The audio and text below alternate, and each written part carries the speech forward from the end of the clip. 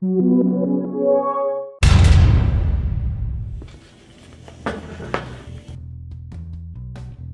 procedures require that all major electrical mechanical components of the servo motor are independently tested upon motor disassembly. The back EMF is tested to check the magnetic strength of the rotor. During disassembly, we check for worn or damaged components. We measure bearing seats to ensure that they are within correct tolerance.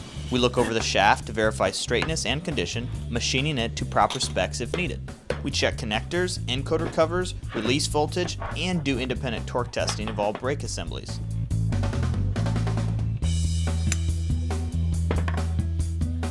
Any feedback devices are verified to make sure they are counting and functioning properly. We surge test the stator and do a complete electrical winding evaluation. If the stator fails, we rewind it in-house. If it passes, we wash and bake the stator.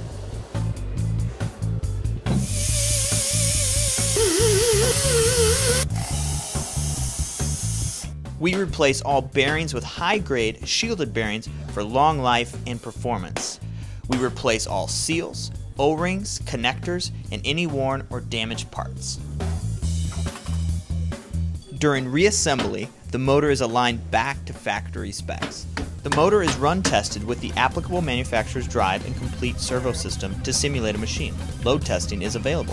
Finally, the motor is buffed and painted, and if needed, we create new nameplates.